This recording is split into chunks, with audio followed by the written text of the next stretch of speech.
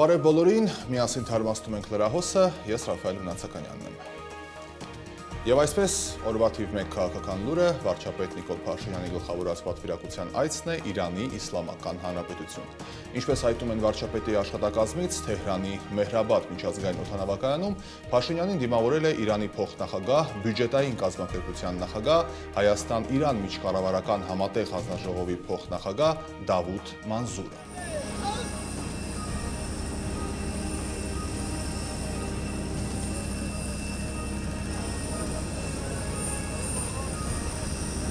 Թեհրանում տեղի ունեցավ վարչապետ Նիկոլ Փաշինյանի եւ Իրանի Իսլամական Հանրապետության նորընտիր նախագահ Մասուդ Փեզեշքյանի հանդիպումը։ Հանդիպանը Իրանի նախագահը շնորհակալություն է հայտնել վարչապետ Նիկոլ Փաշինյանին հրավերը ընդունելու եւ աշխատանքային այցով Իրան ժամանելու համար։ Նա նաեւ հավելել է, որ Իրանը կարևորում է բարեկամ Հայաստանի հետ քաղաքական, տնտեսական եւ հումանիտար ոլորտներում հարաբերությունների շարունակական զարգացումը։ Նիկոլ Փաշինյանն էլ իր հերթին շնորհակալություն է հայտնել Մասուդ Փեզեշքյանին ջերմ հյուրընկալության համար ու եւս մեկ անգամ շնորհավորել նրան Իրանի Իսլամական Հանրապետության նախագահ ընտրվելու առիթով։ Վարչապետը նաև ընդգծել է, որ Իրանի հետ բազմակողմանի համագործակցությունները մեր երկու երկրների համար ունեն շատ կարևոր նշանակություն, որը խարսխված է փոխադարձ հարգանքի եւ ըմբռնման վրա։ Մասուդ Փեզեշքյանը նաև նշել է, որ Իրանի համար առանցքային նշանակություն ունի տարածաշրջանում խաղաղության պահպանումը եւ հավելել, որ իրանական կողմը եւս անհրաժեշտ է համարում բոլոր հարցերը երկխոսության միջոցով կարգավորելը։ Նիկոլ Փաշինյանը կարևորել է իրանական կողմի ներգրավվածությունը հյուսիս-հարավ ավտոմայլուղու, մասնավորապես Ագարակ Քաջարյան հատվածում կառուցվող գործին։ Ընդգծվել է նաև Հայաստան-Իրան սահմանային անցակետի արդիականացման ուղղությամբ իրականացվող քայլերի կարևորությունը։ Մասուդ Փեզեշքյանը նշել է, որ մասնավոր այցով եղել է Հայաստանում եւ մեր երկրից ու մեր ժողովրդից շատ ջերմ տպավորություններ է ստացել։ Զրուցակիցները կարևորել են երկկողմ բարձր մակարդակի բոլոր փոխգործակցությունները։ Եվ շարունակելով այցի թեման, Իրանի Իսլամական Հանրապետությունը Զանգեզուրի երթուղին համարում է ի վնաս Հայաստանի եւ շարունակում է տեր կանգնել այս դիրքորոշմանը։ Այս մասին ասել է իսլամական հեղափոխության գերագույն առաջնորդը Սեյեդ Ալ-Խամենեին։ Նաև նույն տեսակետը նշվել է Հայաստանի Հանրապետության վարչապետ Նիկոլ Փաշինյանի հետ հանդիպան ընթացքում։ Մեջբերեմ նրա խոսքը. Մենք խորապես հավատում ենք Հայաստանի հետ հարաբերությունների զարգացմանը։ Երկու երկրների միջև համագործակցությունը կշարունակվի շահերի հիման վրա եւ անկախ այլ մարդկանց քաղաքականությունից։ Օտարերկրացիները չպետք է սահմանափակումներ ստեղծեն երկրների եւ հարևանների հետ հարաբերություններում ասել է հոգևոր առաջնորդը։ Փաշինյանն էլ իր հերթին ասել է, որ Հայաստանը բազմիցս հայտարարել է, որ չի ընդունում ոչ մի անդրտարածքային երթուղի իր տարածքով։ Շարունակելով հարևանների թեման, Հայաստանն ու Թուրքիան սահմանին կայացրել են Հայաստանի եւ Թուրքիայի միջև հարաբերությունների կարգավորման գործընթացի հատուկ ներկայացուցիչներ Ռուբեն Ռուբինյանի եւ Սերդար Քլաչի արդեն 5-րդ հանդիպումը։ Նշենք, որ Ռուբինյանի եւ Քլոչի հանդիպումը նախատեսված էր դեռևս հուլիսի 3-ին, սակայն թուրքական կողմը հրաժարվեց դրանից։ Հայ-թուրքական կազմավորման հարցում հատուկ բանագնացները մինչ օրս պաշտոնական 4 հանդիպումներ են ունեցել, որոնցից վերջինը Ավստրիայի մայրաքաղաք Վիեննայում էր։ Բացի այդ, նրանք պայմանավորվել են տարածաշրջանային զարգացումներին համապատասխան գնահատականներ տալ եւ տեխնիկական կարիքները հոգալ, որոնք հնարավորություն կձեռեն գործարկել Ախուրիկ, Աքիակա երկաթուղու սահմանային անցակետը, ինչպես նաեւ փոխադարձաբար դյուրացնել վիզայի գործընթացը դիվանագիտական պաշտոնական անձնագրեր ունեցող մարդկանց համար։ Վերջում նրանք վերստին ընդգծել են կարգավորման գործընթացն եւ նախապայմանները շարունակելով բանակցությունների թեման եւ ինչ լիարժեք կարողանան կարգավորել երկու երկրների հարաբերությունները։ Նիկոսիա աշխատանքային այցի շրջանակներում Հայաստանի Հանրապետության արտաքին գործերի նախարար Արարատ Միրզոյանը հանդիպում է ունեցել Կիպրոսի նախագահ Նիկոս Խրիստոդուլդիեսի հետ։ Անդրադարձ է կատարվել երկու երկրների միջև միջին եւ բարձր մակարդակներով քաղաքական երկխոսության օրակարգի եւ տարածաշրջանային մի շարք այլ հարցերին։ Ընդգծվել է ներկայիս բարդ աշխարհքաղաքական պայմաններում երկու երկրների սերտ համագործակցության նշանակությունն ու կարևորությունը թե երկկողմ ձևաչափով եւ թե բազմակողմ հարթակներում։ Անդրադարձ է կատարվել նաեւ Եվրոպական միության հետ Հայաստանի համապարփակ գործընկերության հետագա խորացման ուղղությամբ համատեղ իրականացվող ջանքերին։ Եվ ինչպես ասում են, շարունակելով ջանքերի թեման, ակտիվ ջանքեր հարավային Կովկասում խաղաղության առաջընթացի ուղղությամբ իրականացնում է նաև Միացյալ Նահանգները պետդեպարտամենտից են հայտնում Միացյալ Նահանգների պետքարտուղարության խոսնակի առաջին տեղակալ Վեդանտ Պատելը լրագրողների հետ ճեպազորություն հայտնել է, որ պետքարտուղար Էնթոնի Բլինկենը եւ Կովկասյան բանակցությունների հարցով ավակ խորհրդական Լուիս Բոնոն, որը վերջերս ի դեպ տարածաշրջանում էր, շարունակում են ակտիվ ջանքեր գործադրել հարավային Կովկասում առաջընթացի ուղղությամբ։ Մեջբերեմ նրա խոսքը, սակայն որևէ ժամկետ այս պահին նշել չենք կարող նկատի ունի խաղաղության գործընթացը։ Լրագրողներից մեկի հարցը հնչել է այսպեսին, թուրքական կարգավորման հարցով հատուկ բանագնացներ Ռուբեն Ռուբինյանի եւ Սերդար Քլչի հանդիպման մասին չկարող է ասել, ներկայացուցիչը հավելել է հետեւյալը. Նախապես ոչինչ ասել չեմ կարող, կրկնում եմ, դա այն է, ինչի վրա կենտրոնացած է մեր ամբողջ պետքարտուղարության ուշադրությունը։ Շարունակելու ենք ակտիվորեն ներգրաված լինել այս հարցում։ Մեջբերման ավարտ Եվ շարունակում ենք թողարկումը. Եվրոպական խորհրդարանի նախագահ Ռոբերտա Մեծոլան շնորհակալություն է հայտնել Ալեն Սիմոնյանին եւ ողջունել Հայաստանին Եվրոմիության հետ հարաբերությունները ընդլայնելու ցանկության շուրջ։ Եվրոխորհրդարանը ընդունում եւ ողջունում է այն փաստը, որ Հայաստանը վճռականորեն ընդգծել է Եվրոպական միության հարաբերությունները ընդլայնելու եւ դրանց առաջնահերթություն տալու իր ցանկությունը։ Եվրոմիություն Հայաստան գործընկերության համաձայնեցված նոր այս օրակարգը, ինչպես նաեւ Հայաստանի հետ վիզաների ազատականացման շուրջ երկխոսության մեկնարկը մեր ընդլայնված հարաբերությունների վառ եւ փայլուն ապացույցն է, ընդգծել է նա։ Եվ մեկ նոր նշանակման մասին Էդուարդ Հունանյանը նշանակվել է Հայաստանի Հանրապետության ազգային անվտանգության ծառայության սահմանապահ զորքերի հրամանատար։ Հայաստանի Հանրապետության նախագահը ստորագրել է հրամանը հիմք ընդունելով վարչապետի առաջարկությունը եւ այսպեսով Էդուարդ Հունանյանը նշանակվել է ԱԱԾ սահմանապահ զորքերի հրամանատար։ Շարունակելով լրահոսը վերադառնանք Երևանյան խնդիրներին տեսահսկման համակարգեր Երևանի մանկապարտեզներում։ Երեք մենք բավական ընդգրկուն անդրադարձում եցանք քաղաքապետարանի նիստին, որտեղ զեկուցվեց մանկապարտեզները տեսանկարանող սարքերով պետք է համալրվեն, եւ այսօր արդեն հայտին դարձավ, որ առաջին փուլով տեսախցիկներ կտեղադրվեն Երևանի 50 նախակրթարաններում։ Երևանի քաղաքապետարանը նախագիծը իրականացնում է մանկապարտեզների գործունեությունը առավել վերահսկելի դարձնելու համար եւ մանրամասներ առաջարկում են դիտել տեսանյութով։ Երևանի համայնքային մանկապարտեզներում կտեղադրվեն տեսախցիկներ։ Սա առաջին հերթին արվում է երեխաների պաշտպանության համար։ Երևանի քաղաքապետարանը նախագիծն իրականացնում է մանկապարտեզների գործունեությունն առավել վերահսկելի դարձնելու համար։ Ցավոք սրտի վերջին իրադարձություններն էլ ապացուցում որ դրա անհրաժեշտությունը կա։ Առաջին խմբականակով 50 մանկապարտեզներում կտեղադրվեն, հետագայում նպատակ ունենալով նաև բոլոր 162-ում ունենալու։ Գնման գործընթացը կմեկնարկի բառացիորեն առաջիկա օրերին։ 50 նախակրթարանում շուրջ 2000 տեսախցիկ է տեղադրվելու։ Առաջնահերթ ընտրվել են արդեն իսկ վերանորոգված մանկապարտեզները։ Երեխաների առօրյան առցանց հասանելի կլինի միայն պատասխանատուներին։ Ծնողները ամենօրյա ռեժիմով դրանք դիտելու հնարավորություն չեն ունենա։ Տեսահսկումը տեղի կունենա կենտրոնացված եղանակով, դիտելու հնարավորություն ունենալու ենք մենք։ Մանկապարտեզի տնօրենը ապահովելով անձնական տվյալների պաշտպանության էթիկական կողմը տեսախցիկների արկայությունը ես գտնում եմ, որ ճիշտ է որպես ծնող նաև երեխաների անվտանգությունից ելնելու։ Կարևորը որ վերահսկեն ոնց են երեխեքին վերաբերվում դասյարակները եւ այն կամ հենց թեկուզ երեխաների մեջի հարաբերությունները։ Շատ ողջունելի է որ մանկապարտեզներում տեղադրվելու են տեսախցիկներ, կխուսափեն երեխաների բռնության դեպքերից,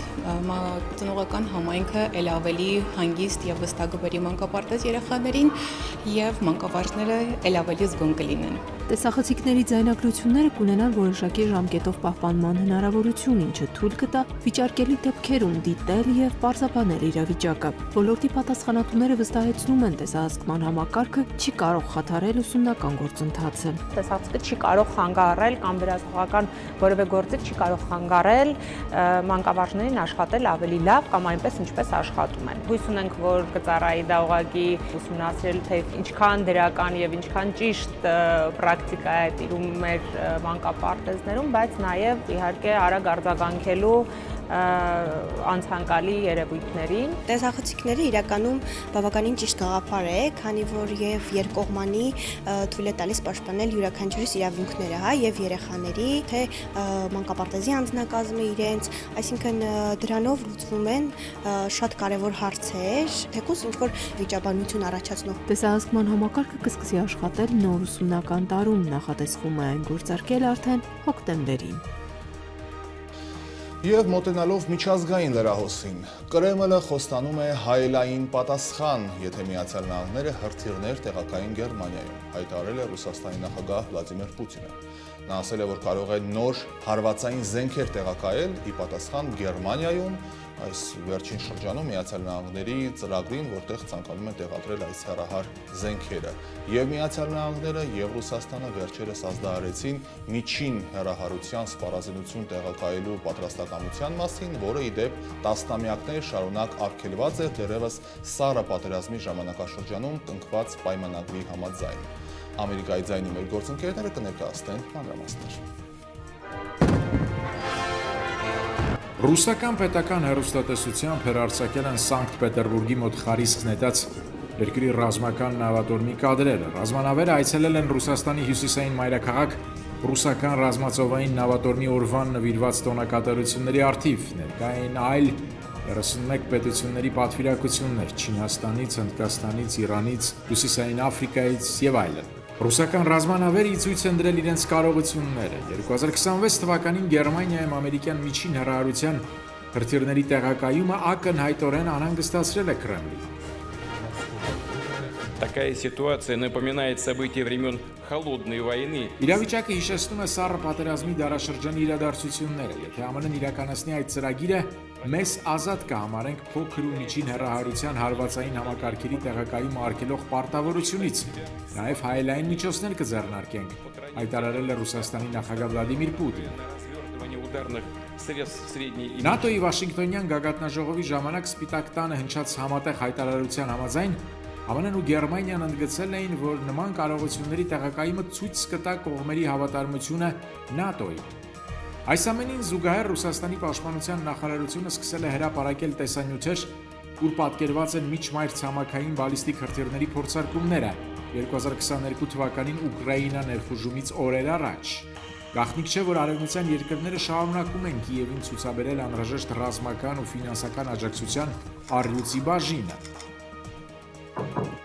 ՆԱՏՕ-ի գլխավոր քարտուղար Յենս Ստոլտենբերգը այս ամսվա սկզբին ելույթ ունենալով Վաշինգտոնում նշել էր. All of this uh, support will make Ukraine stronger. Այս աջակցությունը Ուկրաինային կդարձնի ավելի ուժեղ եւ ավելի ունակ։ Այն ամենը, ինչ մենք անում ենք, ինքեր ստեղծեց Ուկրաինայում իրավիճակը կայունացնելու համար։ And improved interoperability put in place the foundations for Ukraine to prevail։ Ինչևէ, դիտորդները չեն ཐակցնում իրենց մտահոգությունը, թե միջին հերահարության հրթիռների տեղակայման հարցում. ԱՄՆ Ռուսաստանի փոխված մոտեցումները կարող են սպառազինության նոր մրցավազք առաջացնել։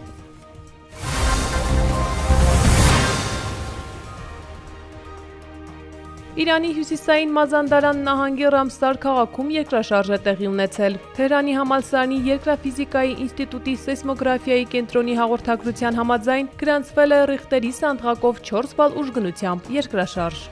ԱՄՆ նախկին նախագահ Դոնալդ Թրամփը հուլիսի 29-ին հայտարարել է, որ պատրաստ է նախընտրական հերոստաբանավեճի փոխնախագահ Քամալա Հարիսի հետ։ Հավանաբար բանավեճ կլինի, ուստի պատասխանը դրական է, բայց ես կարող եմ դրա դեմ նաև հակափաստարկներ բերել։ Fox News-ին տված հարցազրույցում ասել է Թրամփը։ Նա միաժամանակ Քամալա Հարիսին արմատական ցախակողմյան խելագար է անվանել։ Նա կկործանի մեր երկիրը, հավելել է ԱՄՆ նախկին նախագահը։ Վենեսուելայի նախագահական ընտրություններում Նիկոլաս Մադուրոյի հաղթանակի հայտարարումից հետո հազարավոր ցուցարարներ հավաքվել են Կարակասում նախագահական պալատի մոտ։ Իրավապահները ցուցարարների դեմ կիրառել են արցունքաբեր գազ եւ ռետինե փամփուշտներ են արձակել։ Ընդդիմությունը հայտարարել է, որ ընտրությունների արդյունքները կեղծ են եւ պնդում է, որ ընդդիմության տեխնացու Էդմունդո Գոնսալեսը ստացել է ձայների 73.2%-ը։ Ցուցարարները անվադողեր, աղբ եւ մեքենաներ են այրել։ Իրավապահների եւ ցուցարարների միջև բախումներ են տեղի ունեցել։ Ըստ դատախազության 32 մարդ ձերբակալվել է։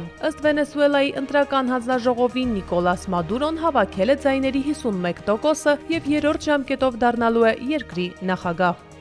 Կուրսկի մարզը հուլիսի 30-ի գիշերը հրթիռային հարձակման է ենթարկվել Ուկրաինայի կողմից, հայտնել է տարածաշրջանի նահանգապետի պաշտոնակատար Ալեքսեյ Սմիրնովը։ Մարզի ղեկավարը ավերածությունների եւ զոհերի մասին տեղեկություն չի հայտնել։ Միաժամանակ նա տեղի բնակիչներին հորդորել է ձեռք չտալ հայտնաբերված հրթիռի բեկորներին եւ հայտնել արտակարգ օգնության ծառայություններին։ Իրանի նորընտիր նախագահ Մասուդ Փեզեշքյանը հերախոսազրույց է ունեցել Էմանուել Մակրոնի հետ։ Հերախոսազրույցի ընթացքում Փեզեշքյանը զգուշացրել է, որ Իսրայելի պատերազմը Լիբանանի դեմ մեծ սխալ կլինի եւ լուրջ հետևանքներ կունենա։ Փեզեշքյանը Մակրոնին ասել է, որ Իսրայելը վերջին օրերին սպառնացել է կտոր-կտորանել Լիբանանը՝ ի պատասխան հուլիսի 27-ին Լիբանանի տարածքից իրականացված հարձակման, որի հետևանքով Իսրայելի ֆուտբոլի դաշտերից մեկում 12 մարդ էր զոհվել եւ հիմնականում երեխաներ։ Կողմերը նաեւ քննարկել քննարկել են երկկողմ հարաբերությունները։ Իրանի նախագահը Մակրոնին ասել է, որ պատրաստ է լավացնել Ֆրանսիայի հետ հարաբերությունները, որոնք հիմնված կլինեն ազնվության փոխադարձ հարգանքի վրա։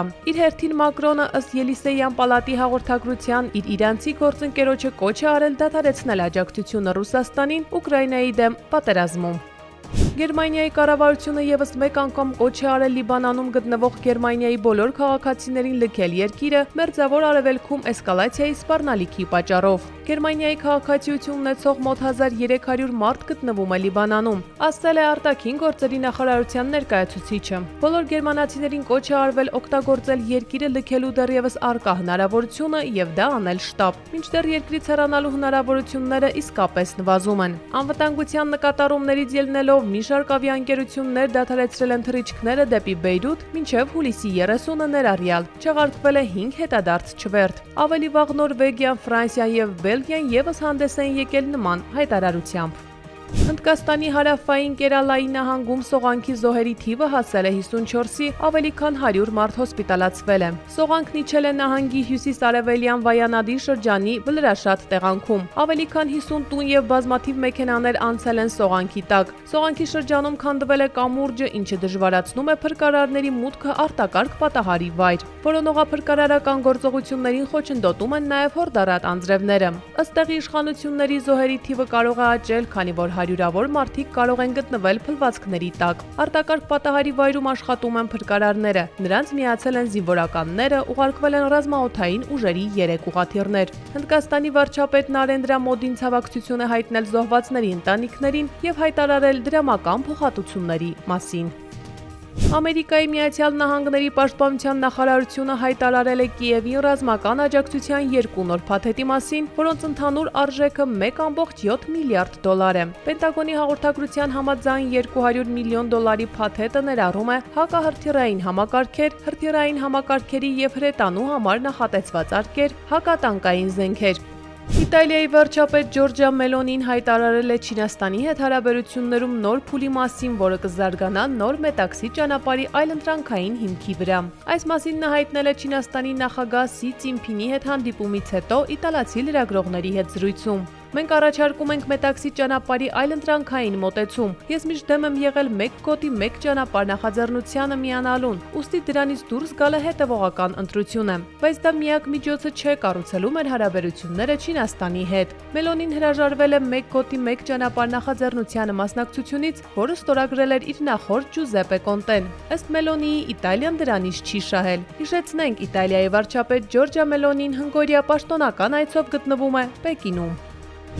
Իսրայելի արտգործնախարարը ՆԱՏՕ-ին կոչ է արել վտարել Թուրքիային Հյուսիսատլանտյան դաշինքից այն բանից հետո, երբ այդ երկրի նախագահ Ռեջեփ Թայեփ Էրդողանը սպառնացել է, որ Թուրքիան պաղեստինցիներին օգնելու համար կարող է մտնել Իսրայել, ինչպես նախկինում մտել էր Լիբիա եւ Լեռնային Ղարաբաղ։ Թուրքիայի նախագահ Էրդողանի Իսրայել ներխուժելու սպառնալիքների եւ վտանգավոր ռետորաբանության լույսի ներքո արտաքին գործերի նախարար Իսրայել Կացը դիվանագետներին հանձնարարել է շտաբ համագործակցել ՆԱՏՕ-ի բոլոր անդամների հետ, կոչ կոչ անելով դատապարտել Թուրքիային եւ պահանջել նրան հեռացնել տարածաշրջանային դաշինքից, ասվում է նախարարության հայտարարությունում։ Տաջիկստանի հողային կառավարման եւ գեոդեզիայի պետական կոմիտեի նախագահ Օրիվ Խոջազոդան հայտնել է, որ այս պահին հստակեցվել է Տաջիկ-Ղրղզական սահմանի 94%-ը կամ 928 կիլոմետր գիծը։ Իսկ սահմանի վիճելի հատվածների հարցի կարգավորման շուրջ բանակցությունները դեռ շարունակվում են։ Խոջազոդան չի մանրամասնել, թե սահմանի որ հատվածներն են մնում չհամաձայնեցված։ Ֆրանսիայում օլիմպիական խաղերի լավագույն լուսանկարն արված է։ Դրանում բրազիլացի սերֆինգիստ Գաբրիել Մեդինան կարծես սառել է օթում։ Ի վերջո Մեդինան վաստակել է 9.9 միավոր, սահմանելով օլիմպիական նոր ռեկորդ։ Սերֆինգի աշխարհի երակի չեմպիոնն օլիմպիական խաղերին մասնակցում է երկրորդ անգամ։ Փարիզի Օլիմպիական խաղերի բացման հանդիսավոր արարողության սկանդալային տեսարանի Լեոնարդո դա Վինչիի խորհրդավոր ընթրիքի ծաղրանմանակումում գլխավոր դերակատար DJ արտիստուհի ակտիվիստ Բարբար Բուչը սոցիալական ցանցերում ֆրանսիացիներից եւ օտարերկրացիներից ստացել է հազարավոր վիրավորական հաղորդագրություններ, սպանության եւ խոշտանգումների սպառնալիքներ։ Այդ մասին սոցիալական ցանցերում գրառում է արել Բարբարա Բուչի փաստաբան Օդրե Մսելատին։ Հիշեցնենք, որ այս տեսարանը մեծ արձագանք է առաջացրել ամբողջ աշխարհում եւ անգամ արձագանքել եւ ափսոսանք էին հայտնել Ֆրանսիայի եպիսկոպոսները։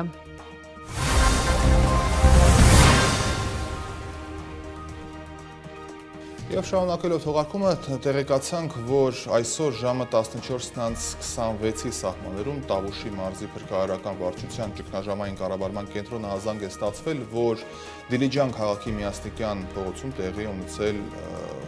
լուզում եւ ներքին գործերի նախարարության փրկարար ծառայությունը անգամ որոշ կադրեր է հրապարակել, որոնք ներկայացնում են ձեր ուշադրությանը։ Իդեպ դեպքի վայրը մեկնել փրկարար ծառայության մարզային փրկարարական վարչության ջոկատը մեկ մարտական հաշվարկ եւ բարձվել է որ շինարարական աշխատանքների ժամանակ է տեղի ունեցել այս հողազանգվածի փլուսվածքը եւ ցավոք սրտի քաղաքացի է մնացել հողազանգվածի տակ մինչ փրկարարների կանչի վայր հասնելը 91 թվականի ծնված քաղաքացի Աթեն տեղի ուժերով դուրս է բերվել հողազանգվածի տակից եւ տեղափոխվել է բժշկական կենտրոն, գից ներկայացնում են, որ կտրվի լրացուցիչ տեղեկություն։ Եվ շարունակելով թողարկումը, Կարծում եմ կփաստեք, որ հայոց բանակի, հայ զինվորի, սպայի բարի համբավը պահպանելու եւ ել ավելի ամրացնելու անհրաժեշտության մասին խոսել ենք տարբեր հարթակներից։ Հայոց բանակը հայկական պետականության միակ երաշխավորն է եւ ցանկացած արատավոր երևույթ պիտի արմատախիլ արվի այդ համակարգից եւ անհրաժեշտության դեպքում իհարկե ամենախիստ պատժին արժանանա ինչը կարող է ստիպել հայ մարդուն առաջնագծում գտնվելով հանդերձ, պետության սահմանին կանգնելով հանդերձ, վիճել իր զինակից ընկերոջ հետ ու դա կարծես քիչ է սպանել նրան։ Պատկերացնում եք հայը հայի, զինվորը զինվորի, առաջնագծում։ Ու սա ցավոք առաջին դեպքը չէ։ Զինծառայող Կարեն Կարապետյանի սպանության մի շարք հանգամանքներ բացահայտվել են քնչական կոմիտեների տեղեկությունները փոխանցում եւ տարածված հաղորդագրությունից արդեն པարզ է դառնում, որ զինծառայողի սպանության շարժառիթ հանդիսացել է ուշադրություն վրեժխնդրությունը։ Աստավորապես պարզվել է, որ դեպքի օրը սույն թվականի հունվարի 9-ին գիշերը ժամը 4:30-ի սահմաններում կոչումով լեյտենանտ Կարապետյանը ծառայողական հարցի շուրջ, այն է դիրքում քնելու կապակցությամբ առաջացած խոսակցության ժամանակ վիրավորական արտահայտություններ հնչեցնելը ծառայողի հասցեին վիրավորված է իրեն զգացել։ Վերջինս չհանդուրժելով իրեն հասցված վիրավորանքները, վրեժխնդրության շարժարիթով 2024 թվականի հունվարի 9-ին ժամը 6-ի սահմաններում հանձնելով մարտական իր հերթափոխը, մտել է մարտական դիրքի գետնատնակ եւ լիցքավորելով իրեն ամրացված AK-103 տեսակի ինքնաձիգը, մոտեցել է պարկած վիճակում գտնվող Կարեն Կարապետյանին, որից հետո նախ մենահատ ապա կրակահերթով վերջինի սողությամբ բաց է թողել պարկուճները եւ կյանքի հետ անհամատեղելի մարմնական վնասվածքներ հասցրել։ Ձեռք բերված բավարար փասերի հիման վրա քաղաքացի ՆԽ-ին մեղադրանք է ներկայացվել Հայաստանի քրեական օրենսգրքի 155-րդ հոդվածի առաջին մասով։